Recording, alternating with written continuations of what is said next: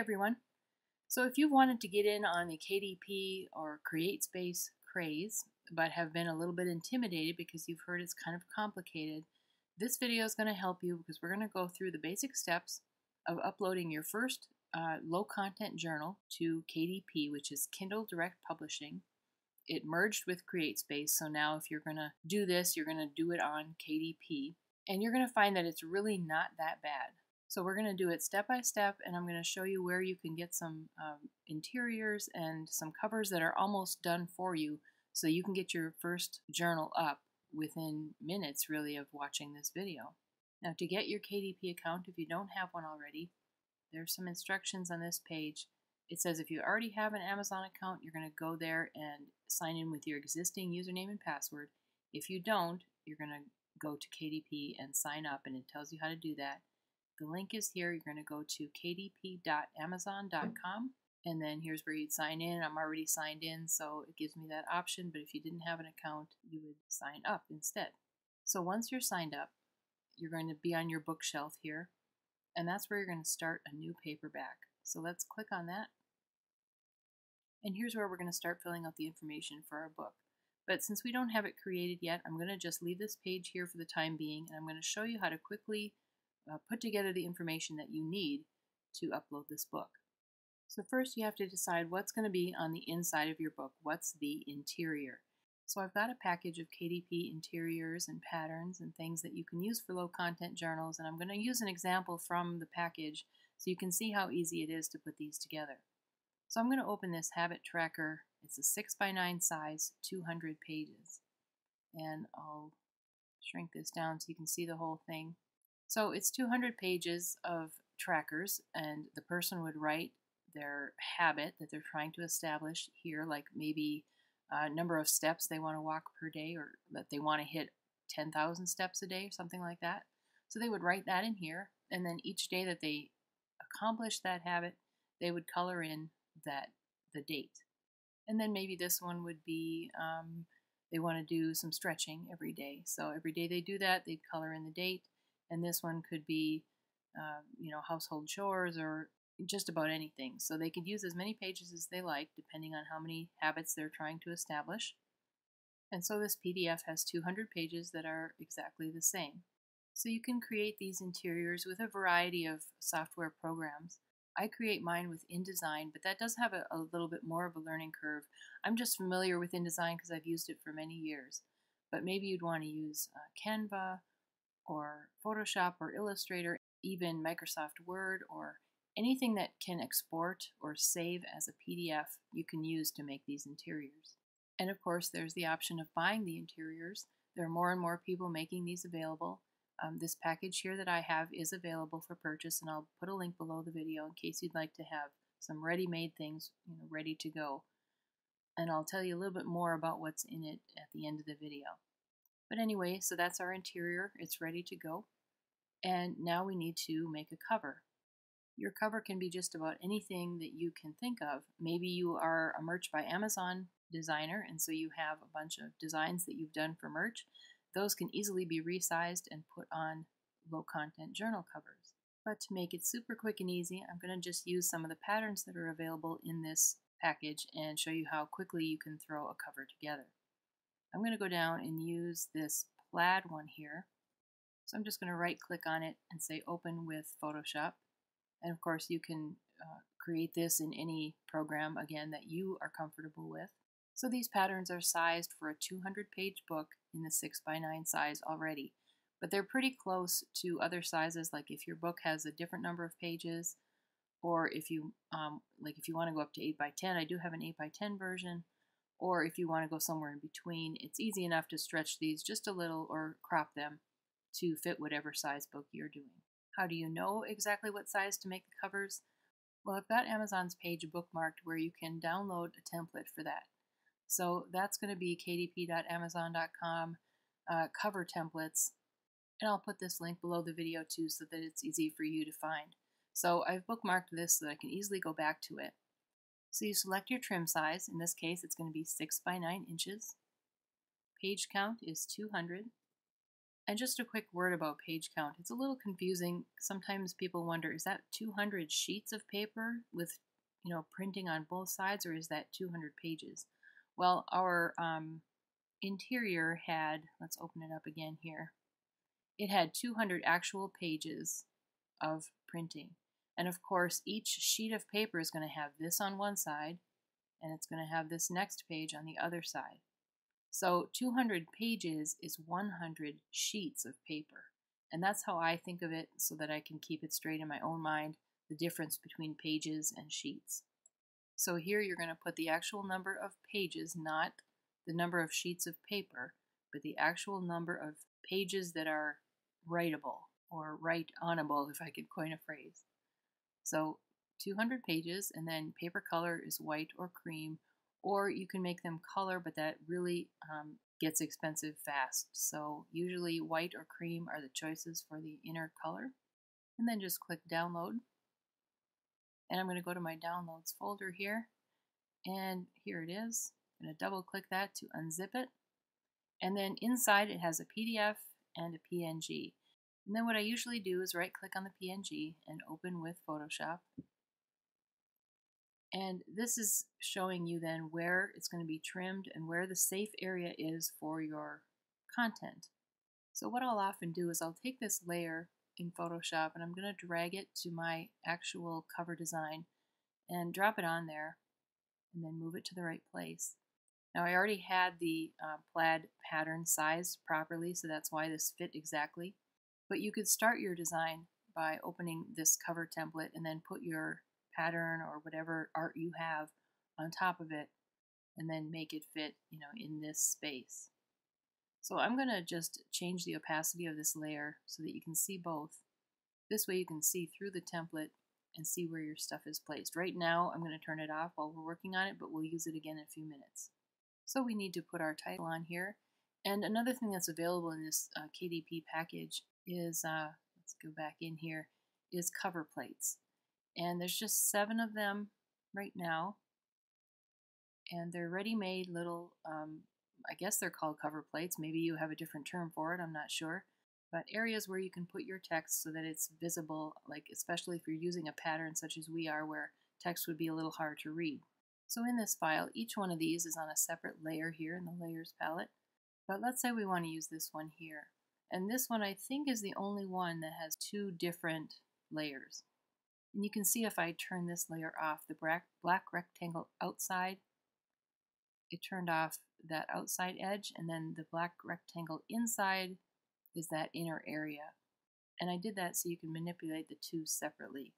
So I'm just going to select these two layers by clicking on the first one and holding down shift, clicking on the second one. And I'm going to just drag those over to my cover file and drop it right on there. So I'm going to move it to the general area where you might put a cover plate and I'm going to make it a little bit smaller. And then I want to add something to jazz it up a little bit and I'm thinking a flower. I have in Illustrator, I have some flowers that I downloaded from somewhere that were free for commercial use. So I think I'm going to use this one up here. So I'm going to click on it and copy it, go back into Photoshop and paste. And I'm not going to get into all the details of how to, you know, copy and paste between the two programs in this video because maybe you're not even using Photoshop and Illustrator, but just for the purposes of this video, I'm going to paste it as pixels. I'm going to make it smaller, bring it over here. And I think I'm going to make it white. And then I'm going to tilt it a little Maybe make it a little bit smaller again.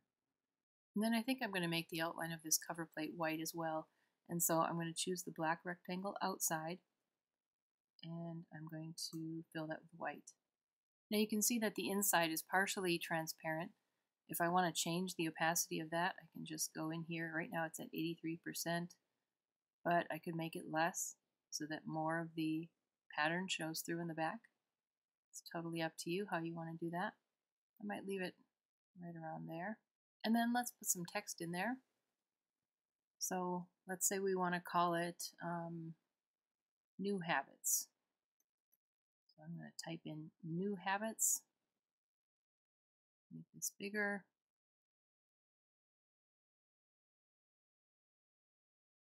And I kind of like that font that it was in from the last thing I did, so I'm going to call that good. Now I'm going to turn this uh, layer back on that had the guidelines, and now I can see that my cover plate and title are way over to the right here. They should be to the left. So I'm going to select those layers. This was my rose, so let me name that layer so I know what it was. So I'm going to select the ones that I have to move, and I'm just going to move it over until it's centered in this area here between the trim lines.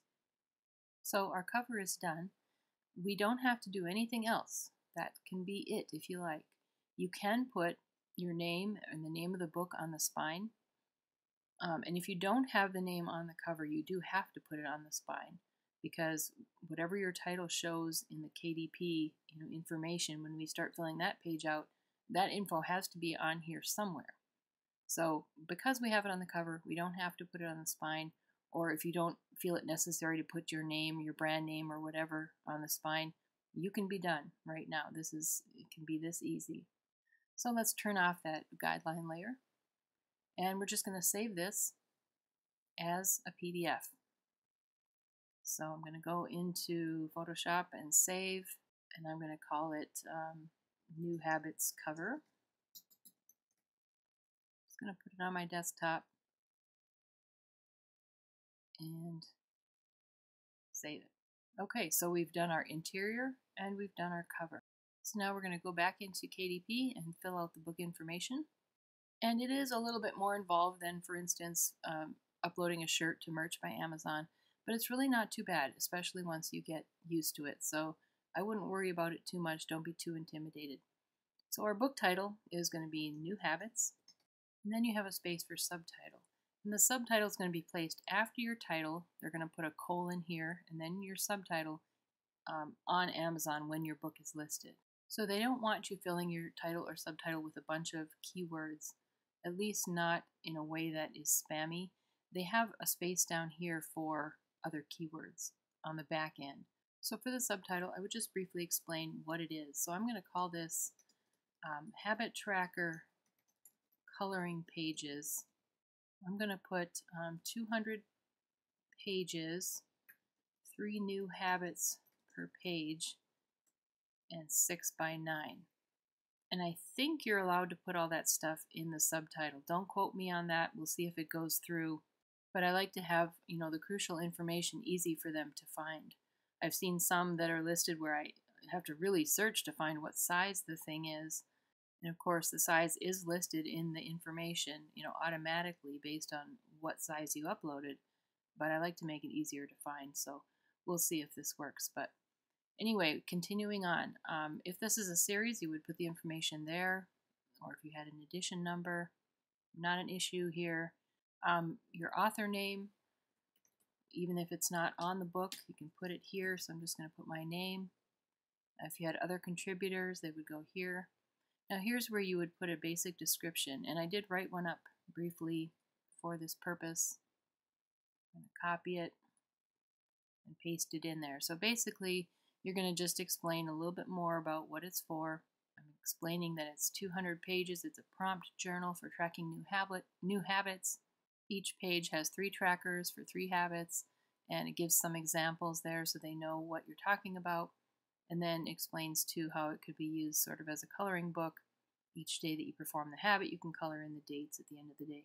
You can make this quite a bit longer. They allow close to, what is it, 4,000 characters. So there's a lot more you could put in there, but this is just a, a, start for you.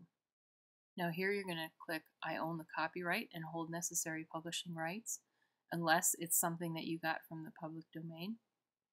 Now here's where you're going to put those keywords.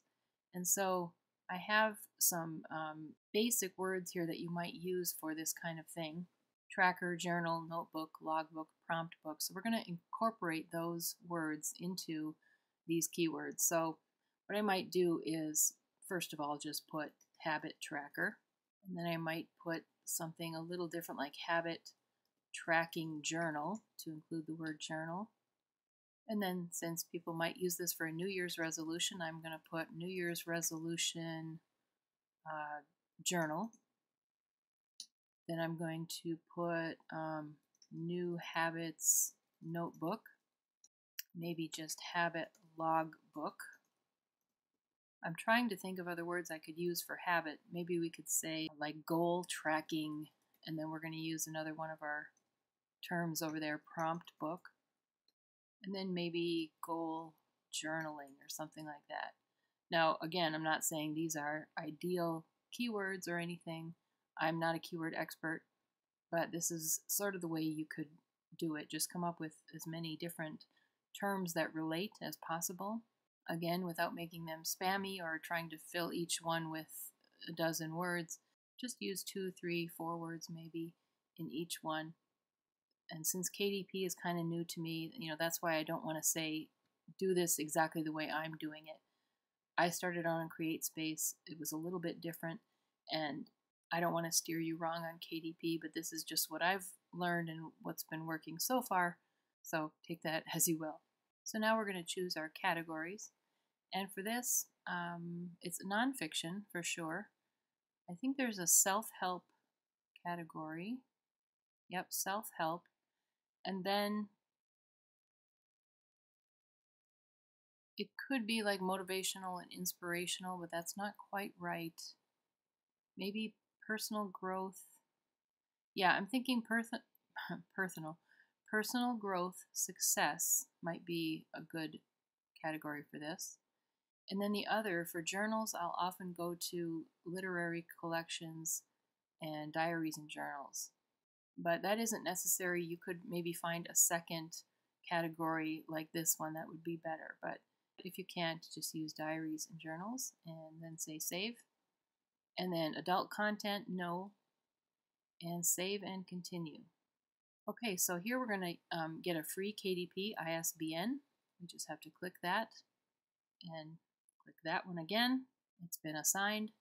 Continue publication date. You can put a date, but if you don't, it'll just put whatever date this becomes live on Amazon. So usually I just leave that blank. Now you're going to choose your print options. We already decided it was going to be a black and white interior with white paper. Trim size is 6 by 9 Now for bleed settings, in this case we're going to choose bleed, and I'm going to go back to this interior so you can see why. If you notice these, um, the background here of the page, the gray bars, they go all the way to the edge of the page. This interior was created a little bit larger than 6 by 9 so that when they trim it to 6 by 9 these gray bars will still extend to the very edge of the page. So if you don't have anything that extends past the, you know, the margin that KDP recommends, then you can choose no bleed. But for these, we will choose bleed. And again, that's something that if it's a little confusing, feel free to contact me. I'd be happy to explain it a little bit better. But it's just a little bit beyond the scope of this particular video. So anyway, we're going to choose bleed, and then we're going to choose the cover finish, whether it's matte or glossy. I think for something like this that's going to get handled a lot, um, matte tends to show fingerprints more, so I'm going to choose glossy. So now here's where we're going to upload the interior that we just looked at. Uh, they call it a manuscript. So, so that was Habit Tracker 6x9 200. Open and it will upload. Takes just a minute.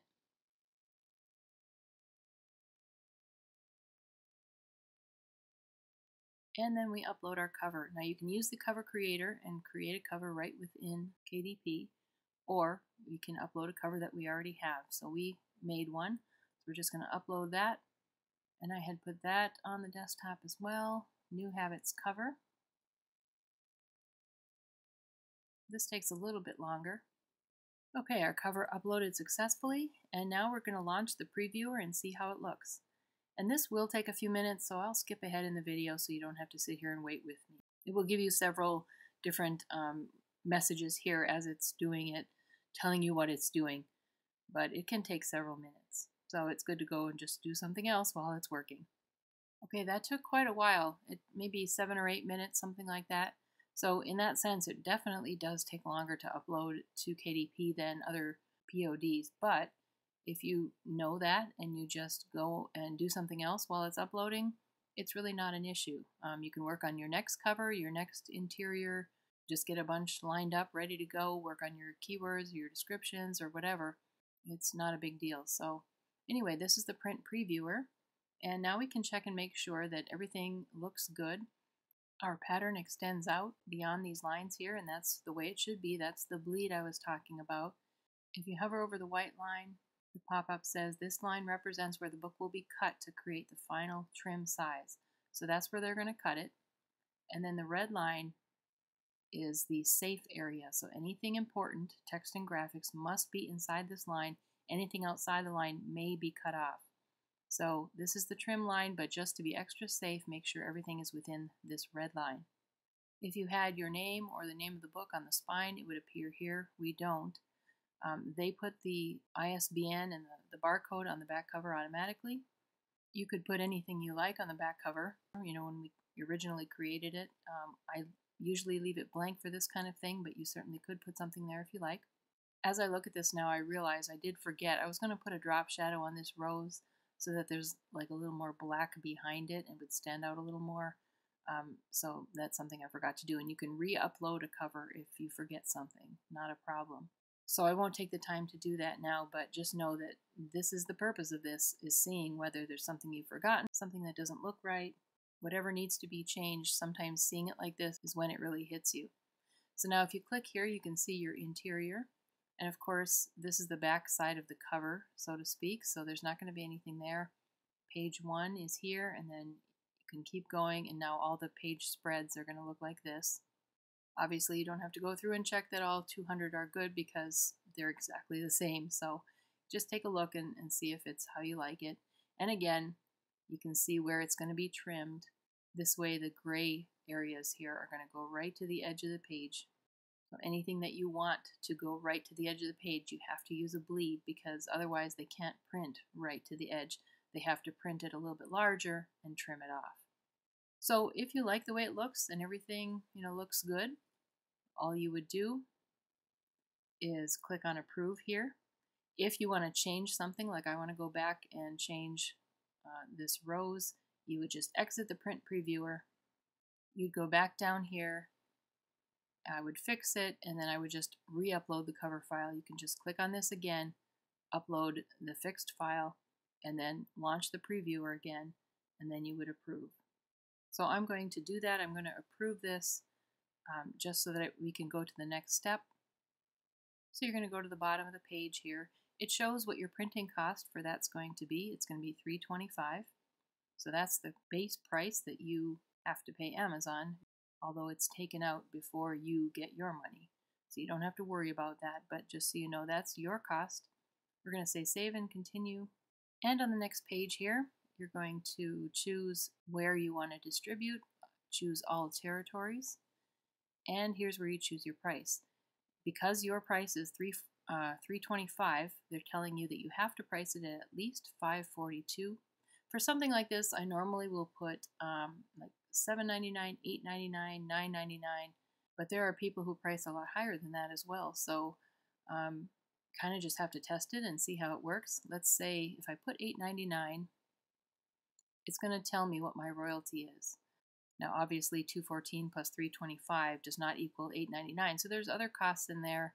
But basically, you can expect to make a couple dollars as a royalty on each book when you price them under 10 like this. And I like to do that because these are kind of impulse buys. They're the kind of thing that someone might add to a cart just to reach a free shipping threshold, or it's something that they might buy multiples of because it's pretty cheap. So it can add up fast, so I wouldn't be scared away by that lower royalty. You can click on expanded distribution, which puts you in other marketplaces. The royalty is going to be often a lot less in others. If you click on the uh, other marketplaces here, you can see where else it can go and you can adjust these if you like. I just usually leave them as they are. And then you scroll down here. Um, you understand that it can take up to three days for them to review it, but it's usually quite a bit faster than that. It's faster than it was with CreateSpace, at least in my experience. Um, it's often the next day. So by clicking publish, I confirm that I agree to and am in compliance with the KDB term, KDP terms and conditions, which I encourage you to read as with any POD And then before you publish, if you like, you can request a proof copy of this book, which they'll put it in your Amazon cart. Now, I think it's about three bucks plus shipping to get that, but that's the cheapest way for you to get a physical copy to check out. The thing is, they put a, a band across the front that says, I think it says something like um, proof copy not for resale. So it's kind of ruined as far as being a nice copy of the book to keep. But if your purpose is just to check it out and make sure it looks okay in person, well, then that is the cheapest way to get a copy. Otherwise, you can just order it, you know, through your regular link once it's up there.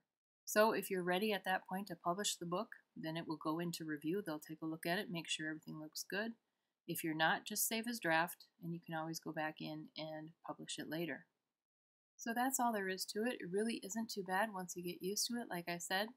And it's especially quick when you do have some pre-made um, interiors uh, and or covers ready for you. So I was just going to take a couple minutes and show you what is in this package in case you're interested in trying it out with some ready-made interiors. The package has five different interiors. I'll show you the dream pages. Uh, this is for dream journaling, where you write down uh, uh, your dreams and your interpretations of them. That's something that's fairly popular, people like to do. We've got the habit tracker I showed you. Then we've got kindness pages, which is tracking acts of kindness that you do for other people and that you view other people doing. Then we've got uh, recipe pages. So this is great for writing in your recipes. Let me make this a little smaller so you can see the whole page. All the relevant info that you might want to have in a recipe book. And so you can make a cover for this with any kind of um, food pictures or graphics that you've created or that you've put together. There's just no end to the possibilities. You could make a journal that's specifically for uh, maybe vegetarians or uh, a keto journal or any sort of diet. Um, you have to be careful, of course, with your keywords and stuff, unless they're generic terms. But you could theme your recipe journal in just about any way you like. And then we have another journal for walking and sleep and water intake. Because those are some things that people that, who are health conscious do like to track. It has a place for the dates. You can rate how you feel, a weekly average. And so that's kind of a cool one too. So those are the interiors. Like I said, they come in 100 pages, 200 pages, and then they come in 6 by 9 or 8 by 10. So there's four files for each one, except for the steps, sips, and sleep, because in this one, each page fits a full week. So 104 pages makes uh, two years worth of journaling. So there's no sense making that one a lot bigger, although you certainly could do so. If you have Acrobat, you can add pages to this. So then we have 20 different patterns here, that like the plaid one that we used. Each of those also come in 6 by 9 and 8 by 10. I'll just show you a few examples. There's one, um, maybe the ferns. These are different patterns that I made uh, out of some pictures that I had. And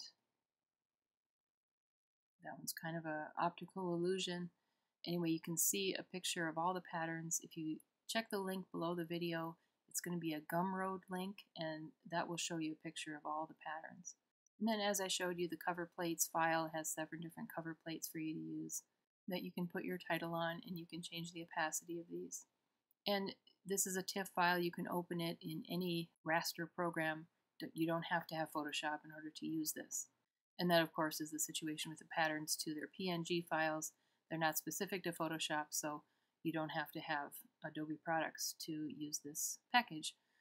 So, like I said, if you want to give this a try and you want to have most of the work done for you to start with, just to, to get going, click on the Gumroad link below the video and check them out. And um, you might find that doing journals on KDP becomes one of your favorite things. It really has for me. I, I enjoy that even more than I do making shirts.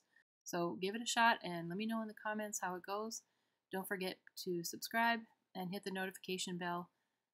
I don't have a regular schedule for putting up videos, but I'm trying to put them up more often and talk about a variety of different tools and things that you can use in your POD business to expand and make yourself some extra revenue streams. So have fun and thanks for watching.